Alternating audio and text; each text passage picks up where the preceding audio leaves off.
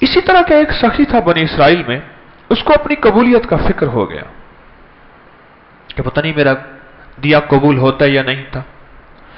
ایک رات اس نے کیا کیا؟ رات کے اندھیرے میں جا کے ایک بندہ جا رہا تھا، اس کو پیسے دے کے تھیلی چلا گیا۔ صبح لوگوں میں چرچا ہوا۔ رات کسی سخی نے چور کو پیسے دے دیے۔ بڑا پریشان ہوا۔ کہ چور چوریاں کرنے والے کو میں نے اپنا صدقہ دی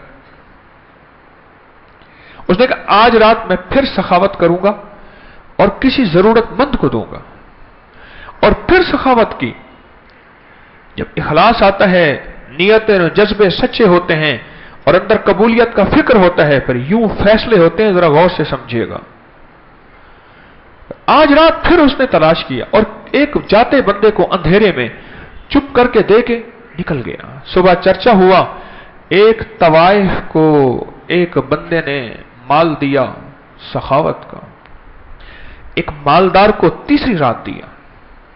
اور صبح چرچا ہوا کہ ایک مالدار کو ایسی مال ملا اور کسی سخی نے دیا۔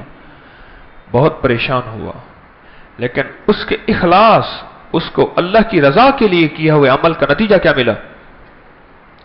چور نے سوچا کہ اگر اللہ بغیر کمائے ایسے غیب سے دے سکتا ہے، کیا اللہ اس پہ قادر نہیں؟ کیا تو چوریاں کر کے مال؟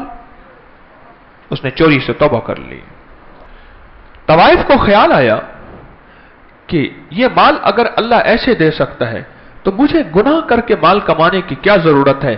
اس کے سچے جذبے نے طوائف کو توبہ پہ آمادہ کیا اور اس نے توبہ کر لی۔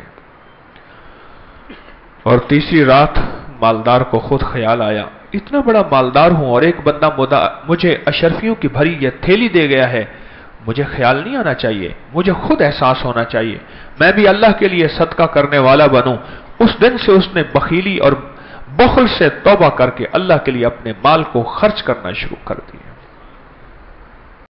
وعبقری حساب